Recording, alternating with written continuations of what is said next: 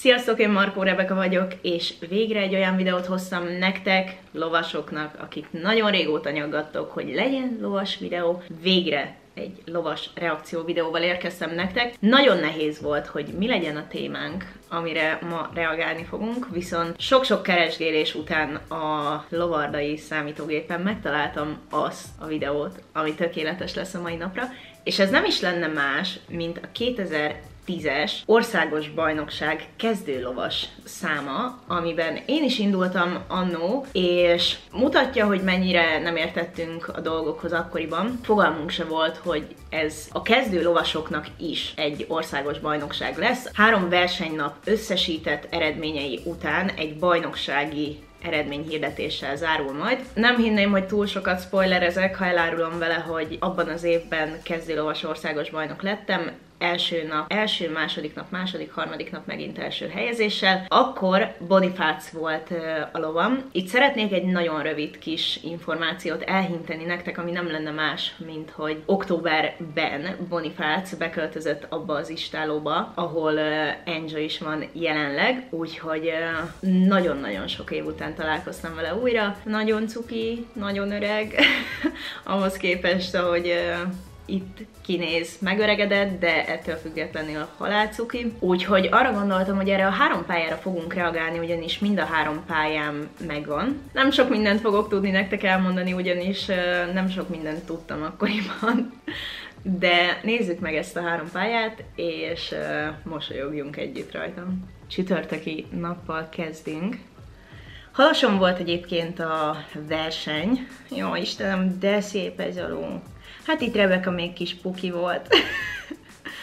Bocsánat, hogy már most megállítom, de itt Bonifác 5 éves, én 13 vagyok, ha jól sejtem, úgyhogy egy kezdő ló, kezdő lovas párosról van szó konkrétan, de a legjobb indulatú ló volt a világon, és nagyon sok dolgot egyébként nem csinálok rajta, ülök, néha belehúzgálok a szájába, de ezen kívül semmi extrát, konkrétan mindent ő csinált helyettem.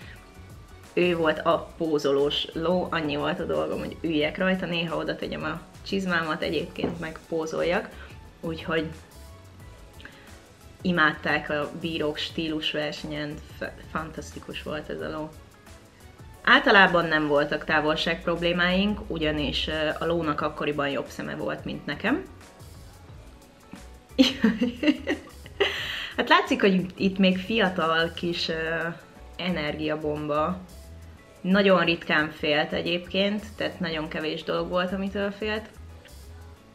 És mindenben segített, amiben tudott. Emlékszem rá, hogy szinte négy évesen már magától csinálta az ugrásváltásokat, legtöbbször egyébként ugrás felett ezzel már foglalkozott, nekem nem volt vele túl sok dolgom. nem nagyon tudok egyébként mit mondani, mert cuki. Ez egy kis kezdőlovas pálya, csütörtök. Ez a pálya elég volt egy első helyezésre, úgyhogy el tudjátok képzelni a többieket. Második nap.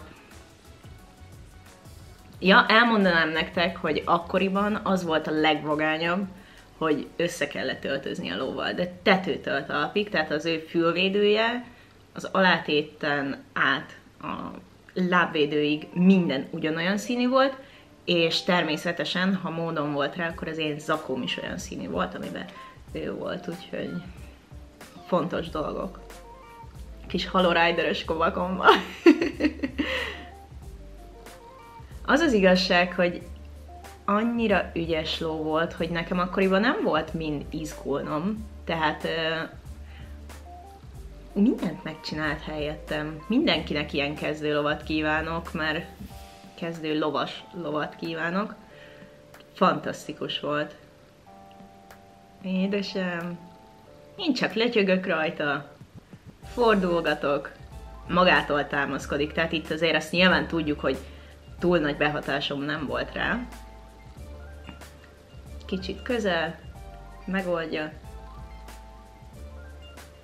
Fantasztikus az egész ló. Kisebb-nagyobb távolság problémák azért akadnak, ugrásváltás elmaradt. bepótolta, önállóan, fantasztikus. Megint.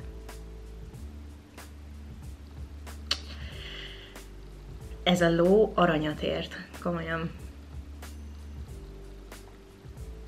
Ez volt ugye a második nap. Most egy kicsit belepörgetünk, ugyanis uh, itt megvan az egész eredményhirdetés. Ott ugye második lettem.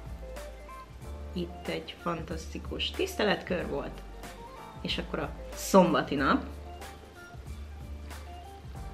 Arra emlékszem, ezt itt fontosnak tartom elmondani, hogy szakadt az eső, de olyan szinten, hogy bugyig eláztunk. Nem volt kellemes, de ettől függetlenül szerintem nem túl sokat számított a versenyzésben. Barna szettben vagyunk a mai napon, szürke zakóval. És ugyanolyan fantasztikus eló, szépen bebogyózva,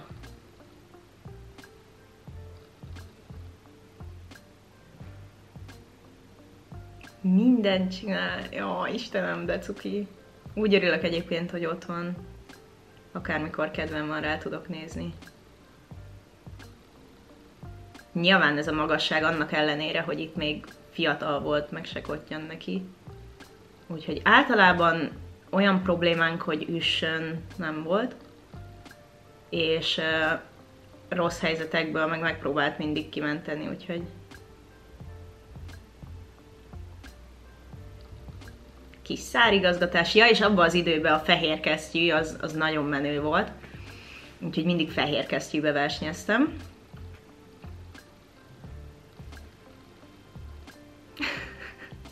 Látszik, hogy a pálya második felére tök el vagyok fáradva. Igyekszem nagyon, de... Ja, meg itt gerincvédő van még rajtam, tehát hogyha púposnak láttok, akkor azt is számoljátok bele, hogy a zakó alatt gerincvédő is van, biztonság kedvéért.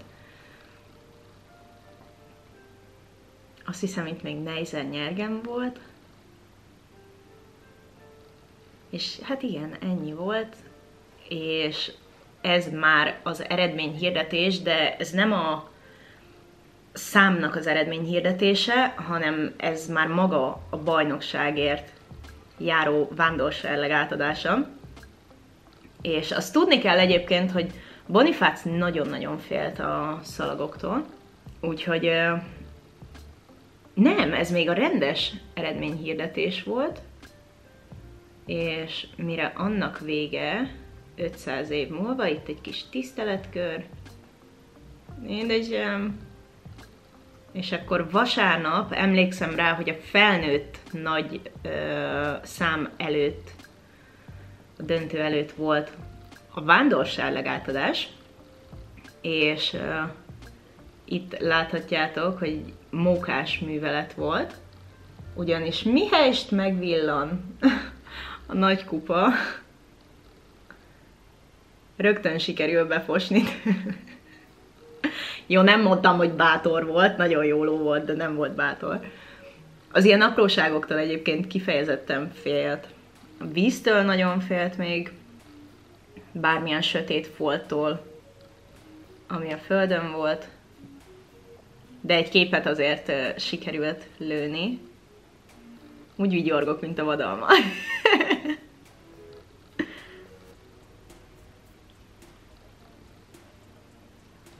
Kis cuki. Igen, itt nyilván meg van beszélve, hogy beviszik a zsűribe, és akkor majd onnan el lehet vinni a kis kupát. És akkor a végére egy cuki tiszteletkör, egyedül, mint a bajnok. Édesem, és ez volt az első ilyen igazi nagy verseny, hogyha egészen őszinte akarok lenni. És mindig egy nagyon jó emlék marad, főleg úgy, hogy rengeteg képen van, megvan az egész videón, úgyhogy bármikor, hogyha ha erre visszagondolok, akkor meg is tudom nézni.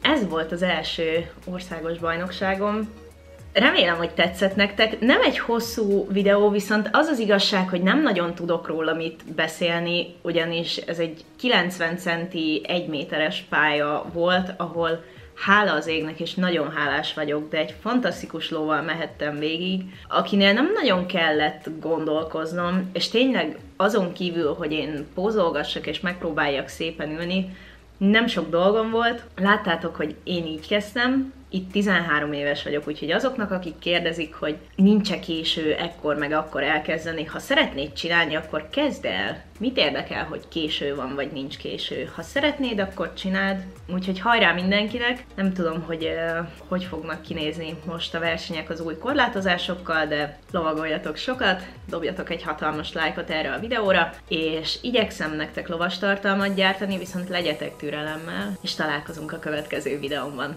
Sziasztok!